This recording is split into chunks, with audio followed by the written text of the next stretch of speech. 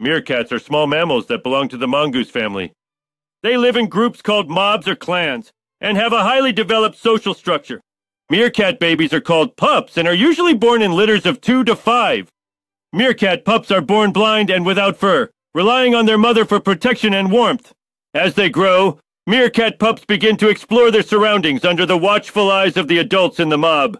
Meerkat pups learn essential survival skills by playing with each other and imitating the actions of the adult meerkats in the mob.